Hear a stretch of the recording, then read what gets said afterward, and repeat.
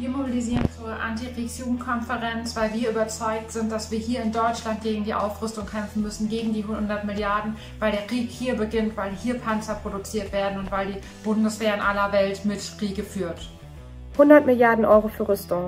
Davon könnten wir 7,6 Millionen Luftfilter für Klassenräume kaufen, 5,5 Millionen neue LehrerInnen einstellen oder den Sanierungsstau an deutschen Schulen gleich zweimal beheben. Ich bin Lara Herrlich von Linksjugend Solid Hessen.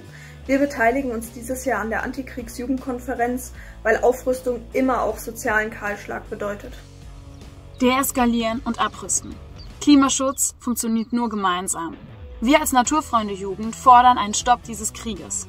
Dazu auch endlich einen Stopp der klimaschädlichen Aufrüstungsspirale.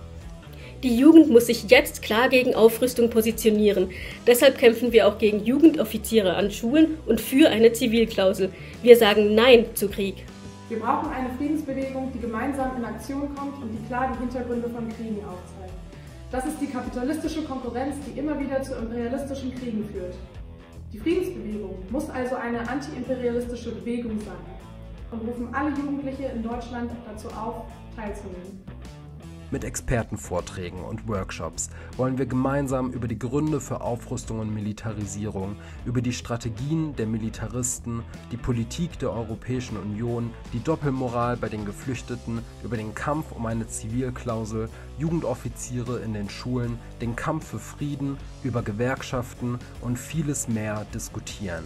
Insbesondere wollen wir uns erarbeiten, wie wir gemeinsam gegen Krieg und Aufrüstung aktiv werden können. Also, Komm am 23. April nach Frankfurt am Main zur Antikriegsjugendkonferenz.